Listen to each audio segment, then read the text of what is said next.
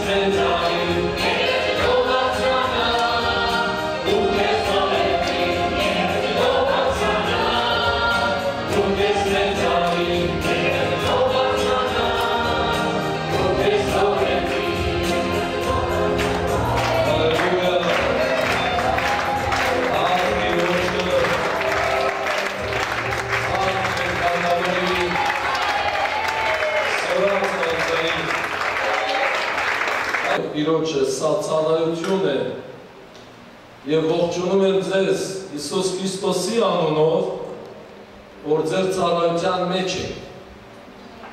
Ամեն։ Սա թակավորության ցալայություն է։ Սա թակավորություն է, որի մեջ մենք կանչված ենք ծառայելու։ Եվ ծառայում ենք ոչ թե երկրային մի թակավորի, այլ ծառայում ենք երկնային թակավորի, որի թակավորությունը անվախճան է, հավիտենական է, որի թակավորությունը անվախճան է, հավիտենական է,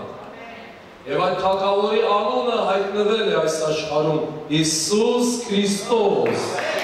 Հիսուս Քրիստոս։ Եվ վաղ թե ուշ ամեն ծունկ ծնվելու է այդ թակավորի արջը։ Ինչ ծունկեր են, ինչ պաշտոն ունի, ինչ ազգից է, ինչ անուն ունի, նշանակություն չունի,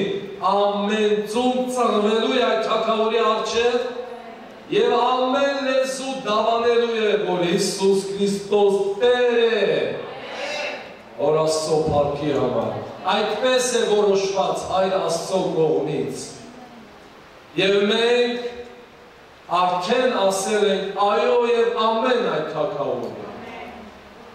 Մենք արդեն իրեն ընդունել ենք մեզ Տեր եւ թակավոր եւ ծառայում ու պաշտում ենք իրեն ոչինչ, որ մի քիչ պայմանները այն չէ եւ կրտնում են, հարկ աստո դեր արյան կաթիլներ չեն բխում մեզնից, մազանոկներ չեն պայթում, ջուր է, խմում ենք ու կրտնում ենք, շնորհակալ ենք Աստծուց այս պայմանների համար։ Ծառայեք Աստծո ուրախությունով, հոշավ սրտով, հիշեք,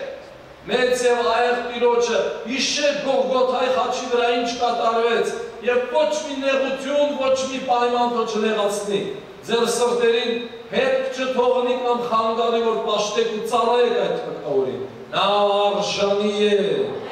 Նա արժանի է։ Նա արժանի է։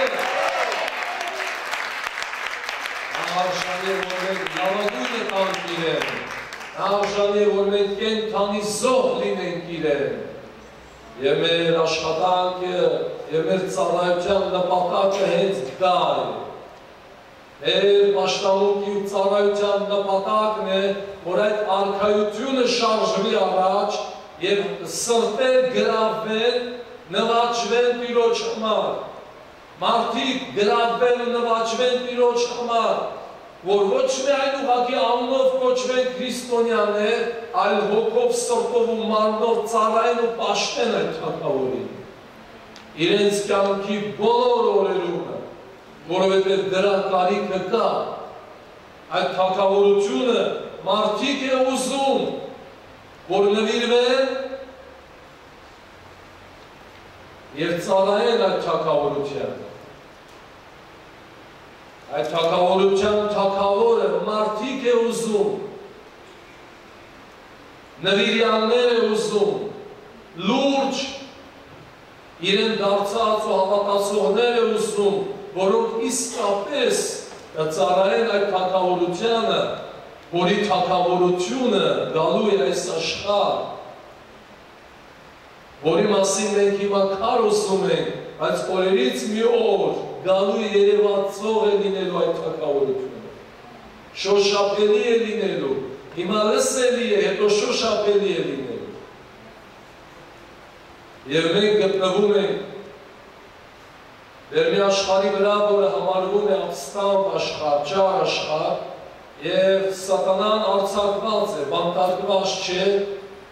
և նա աշխարի մեջ է, ինչպես սուր գիրկը ասում է, և նա աշխատում է